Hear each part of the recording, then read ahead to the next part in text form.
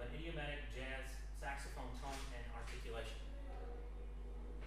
The genesis of this, pre- uh, this presentation came from a lecture that I gave last summer to uh, middle school and high school students, uh, and as an introduction to jazz and to how and how to uh, begin approaching the style. My goal is that this will not only be helpful to you directly, but also be uh, adapted for your use directly with your students. Whether you're an aspiring jazz student, an experienced jazz student searching for a new direction, or an ambitious teacher looking for guidance to connect students, I hope you'll find something useful in our time together. Obviously, this is not the only approach to this topic. Many other great scholars have presented material that addresses this subject in a different light, but I offer you methods that have proven successful for my students in a highly competitive environment. So listening is an important aspect of learning how to perform in a jazz style. I don't want this lecture to imply that listening to the great artists past and present is not a necessary component. These are there are many stories of how Charlie Parker attained Lester Young albums and transcribed every note from Presley's horn. One cannot truly learn to play jazz without listening to the giants of the past. But using this method as the sole manner of assimilating this vast spectrum called jazz is often not useful to young students or students who are new to the field. Concrete exercises will help make this abstract activity speaking to young students, I often try to guide their listening. Uh, with many different artists listed under the umbrella of jazz, I want to help students find the appropriate type of musician to study.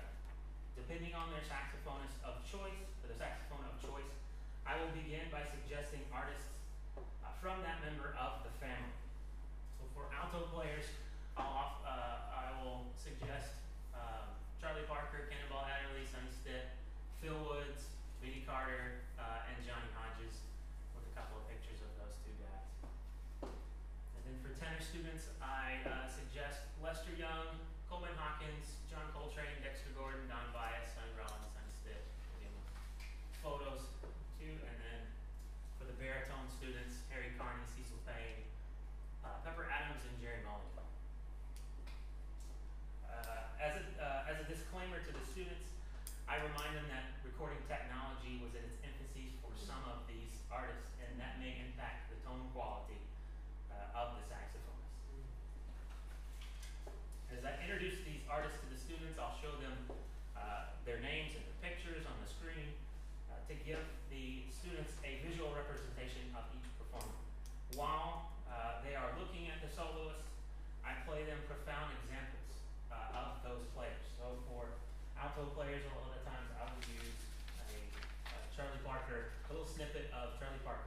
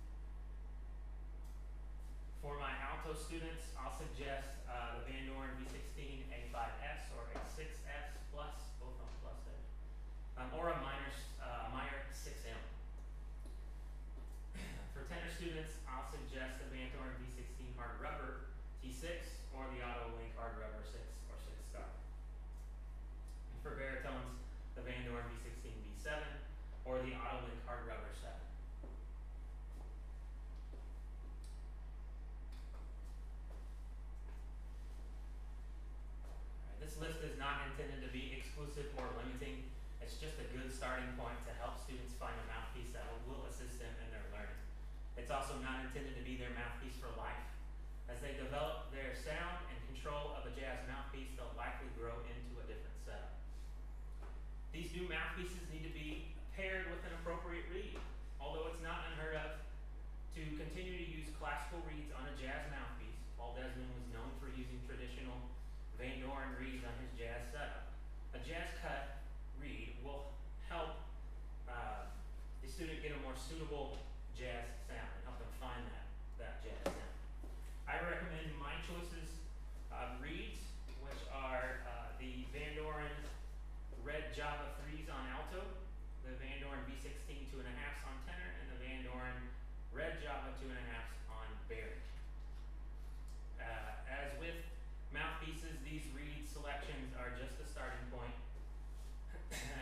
us to ligatures.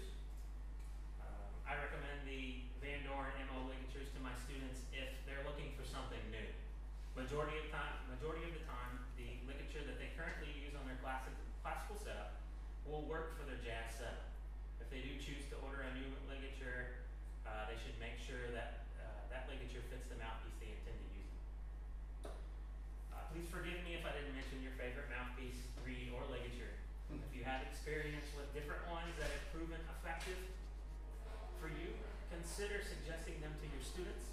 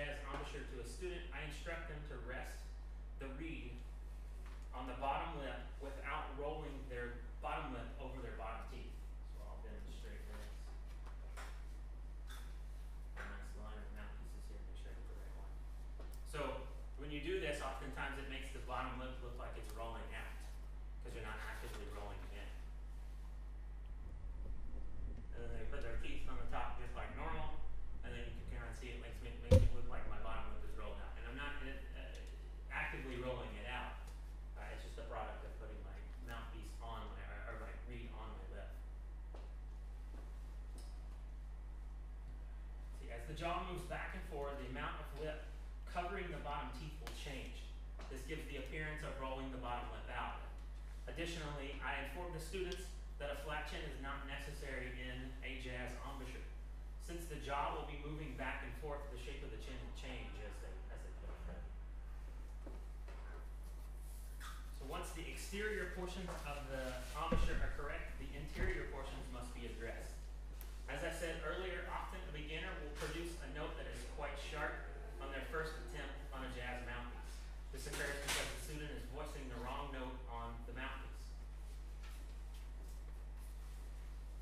To address this issue, the suit must practice mouthpiece pitch.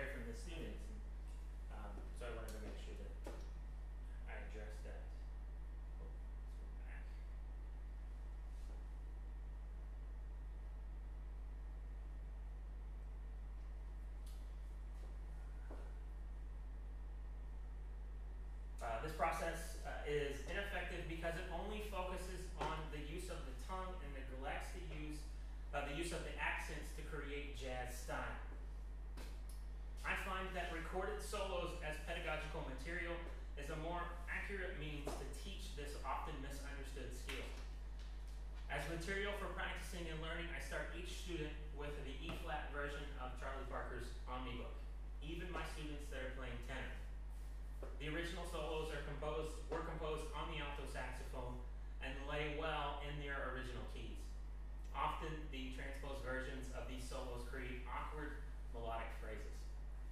I begin on page 24 with the first representation of the classic Parker tune, Au Privave. This tune